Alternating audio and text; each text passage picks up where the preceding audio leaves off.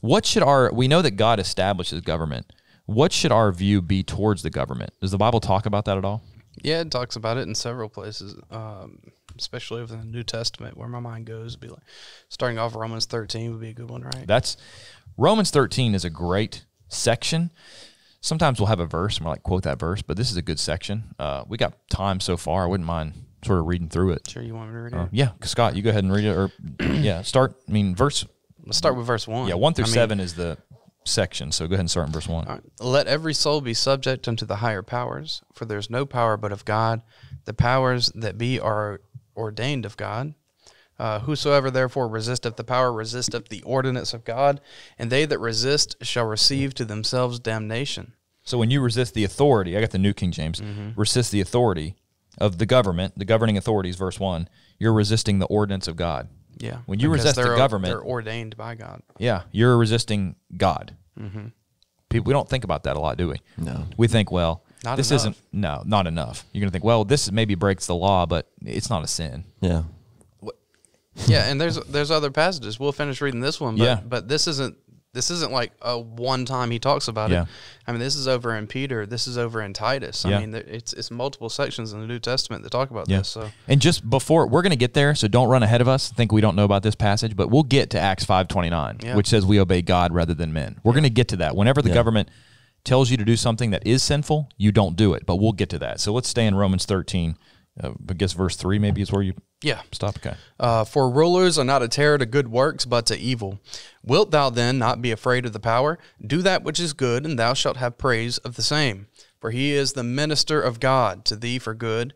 But if thou do that which is evil, be afraid, for he beareth not the sword in vain. For he is the minister of God, a revenger to execute wrath upon him that doeth evil. Okay. So sometimes different translations are harder to understand than others. Basically, a summary of this is what he's saying is he's saying, look, the rulers are supposed to be people that punish evil. So mm-hmm. if you do good, a majority of the time, right? You're going to say, well, there's there's examples in history where people did the right thing and they were punished for it. That's true. But a majority of the time, it's like a book of Proverbs, a book of principles. When you do the right thing, mm-hmm. you normally don't have problems with the government. Whenever you commit crimes, then you're going to get arrested. And the Bible here says that the government has the right from God to bear the sword, right? That's capital punishment. The mm-hmm. government has the right from God that for certain crimes, like I mean the Old Testament, any man who's basically sheds blood, his blood will be shed. We're not going to dive into that too much on this episode, maybe a different one. But the government has the right to bear the sword given to them by God. Yeah, they've got the authority to enforce the laws. That's right. some case that mean in some cases that means that uh, they may need to put someone to death for something they've done. Sure. But uh, even even more general than that, they they have the ability Inflict to punishment. force their will to be done. That's right. That's exactly right. Yeah. Yeah. And one of the things that kind of sparked this episode is like, you know, you look in the world today, especially on social media, it's such a huge thing right now. And um, Christians or maybe non Christians, like, well, you know, we've seen stuff on um, Facebook or something be like, we need to assassinate this person who's a politician or, you know, in that Yeah. position. And, you know, as Christians, like, I'm glad we're diving into this because, like, Yeah. should we treat them as people or just some figure and, like, just slander their name or should we have to respect them? So I'm glad that we're Yeah. Deep into this. You're So- exactly right. Yeah. I mean, for instance, think about all the, the stuff that's going against the police right now. I mean, literally, the Bible says, and we're about to get to verse six. Uh, let me read verses five and six. Therefore, you must be subject, not only because of wrath, but also for conscience sake. For because of this, you pay taxes. For they, speaking of the government, are what? God's ministers, attending continually to this very thing. I know in verse 4, God's minister, I think in verse 6, that word minister is the word diakonos, the Greek word where we get the word deacon, which just means servant, right? It was this idea of stirring up dust, right? They were so busy serving. Government officials are God's servants. Now, sometimes they might not act like it. I mean, Jesus called Herod a fox, right? Herod Yeah. was mm-hmm. in a, a position of power, but maybe wasn't a moral man. Yeah. But like when when I see a police officer, right? If if I get pulled over for like an expired registration, I'm not gonna be mad at the guy. I'm actually it might as contrary as I might thank him and say, Hey, do you know you're God's minister? You're God's servant. Yeah. I don't I don't know that a lot of people realize that, you know? Maybe Like, you can wow, a- thank you. Maybe you can get a, a study out of that somehow. Well, Right. that's kind of the goal. If I, Yeah. yeah, you know, hey, did you thank you for my ticket? Did, Did you, you know, know? that you're a minister of God's servant? Romans thirteen six. And maybe we- he'll say, really? No, hey, you'd like to have a Bible study with me? You know? Yeah. Yeah. So Yeah. we need to respect the the people that God puts in. You, know, you might not understand why God put a, ru- a ruler in power. You may say, "Well, I can't understand why God." Well, there's a lot of things that God does that we don't understand, but that doesn't change what Scripture says. That's right. Absolutely. All right, what verse did I? I stopped at verse off- six. You want to read seven?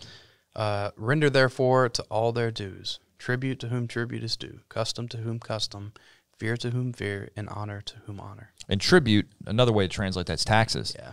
So taxes to whom taxes are due. Wait a minute. You're telling me I have to pay taxes? You're telling me I have to pay taxes, Tucker? Oh man. Man, it seems like Jesus said something about that somewhere. Even know- Mississippi taxes? That's right. Even Even even federal and state and sales tax. In in Luke 23, when the Pharisees took Jesus before Pilate and they were trying to get him killed, right?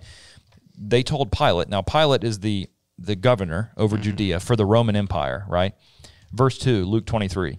They began to accuse him, accuse Jesus, saying, "We found this mellow per, mellow, this fellow perverting the nation and forbidding to pay taxes to Caesar." Okay? Well, that was a lie. What did Jesus just say? What what were you in Luke, Tucker? Yeah. Read Luke, I think 20 25. 2020. Okay.